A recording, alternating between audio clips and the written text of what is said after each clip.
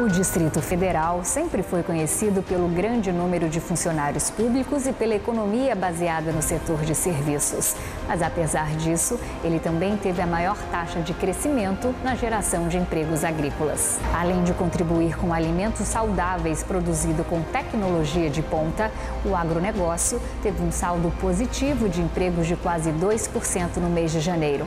Apesar de pequeno, é um número a ser comemorado, porque historicamente a agricultura não tem taxas expressivas na geração de empregos no DF.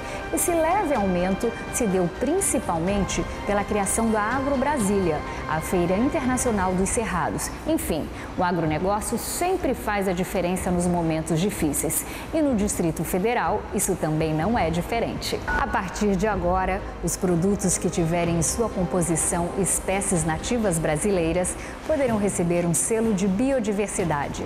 A nova modalidade de identificação vai beneficiar principalmente os pequenos produtores que cultivam tipos nativos de sua região. A nova norma é um complemento à medida da Secretaria de Agricultura Familiar e vai permitir que os portadores do selo participem dos diversos programas de incentivo do Estado que integram o Plano Nacional de Agroecologia, como o Programa de Aquisição de Alimentos, a Política de Garantia dos Preços Mínimos e o Programa Nacional para Alimentação Escolar. Quando falamos em reconhecimento facial, todo mundo pensa em identificar pessoas, mas uma empresa irlandesa está levando essa tecnologia para as fazendas.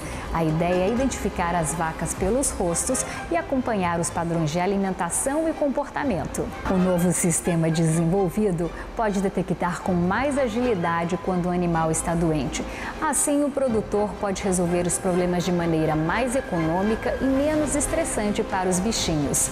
Por meio de câmeras instaladas nos pastos, enquanto as vacas se alimentam, o sistema traça os rostos dos bichinhos e monitora seu comportamento de forma individualizada. As pessoas responsáveis por cuidar dos animais recebem em tempo real as atualizações. Eu sou Laura Campos, essas foram as notícias do Agroboletim de hoje. Até amanhã.